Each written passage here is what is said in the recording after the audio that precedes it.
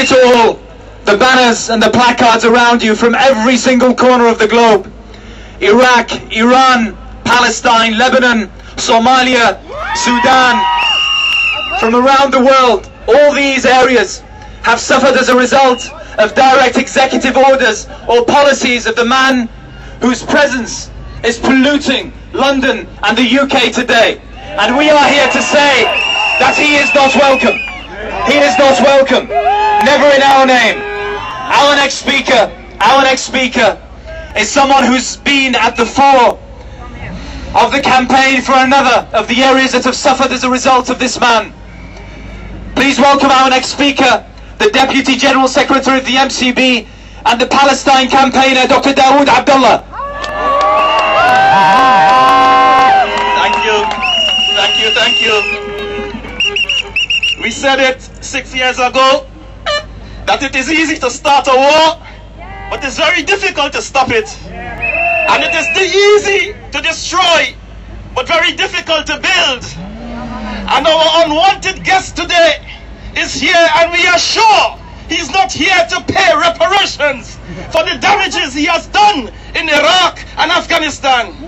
We wanted to pay the reparations, the mass damage he has inflicted on these countries. We wanted to ex express contrition for his wrong, his crimes against humanity. This is what we want here today. We do not expect that our leadership should bow to his pressure and to embark on another senseless war against any other country in the region. We know this is why he's here. He wants to dupe them into another war. No we are way! we are befounded by the fact that our leaders can still put their trust and faith in this individual when the American establishment is crumbling around him. When his own people in the neoconservative movement have abandoned him.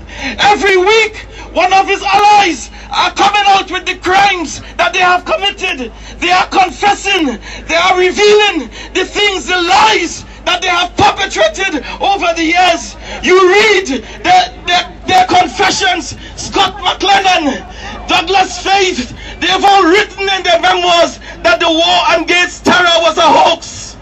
There is no such thing. There is no such thing as war on terror. It is a war against democracy. This war, war for re- regime change. They said it and they planned it. Donald Rumsfeld wrote two weeks after September the 11th, he wrote that we must undertake regime change in Iraq, in Syria, in, in Afghanistan. This is what he wrote. It was a question of regime change.